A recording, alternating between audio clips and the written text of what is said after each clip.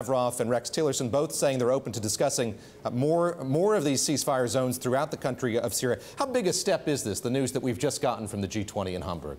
Well, I think it, it, it, sounds positive. We'll have to see how it plays out, and we'll have to see how it impacts the actors on the ground. Obviously, if it secures Jordan and helps protect uh, Jordan, a strong U.S. ally, that's a very good thing. If it provides uh, a cover for uh, other activities that are destabilizing, then that's not so good. So the devil's in the details on this one, and it has to be executed. Let me ask you about NATO. It was something that came up in the speech the president gave yesterday uh, in Warsaw.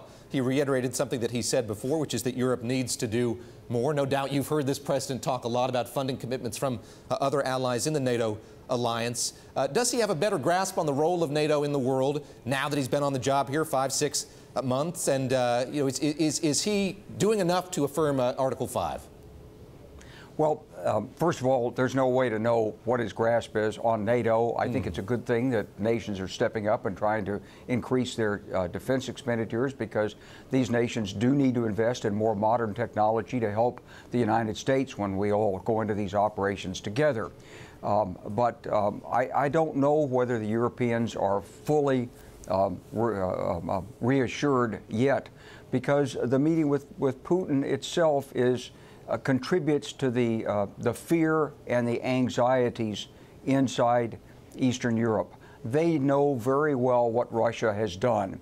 And uh, Donald Trump's passing reference to it yesterday was good in the speech. But what comes out in the press conferences and, and the actions that follow this are going to be critical.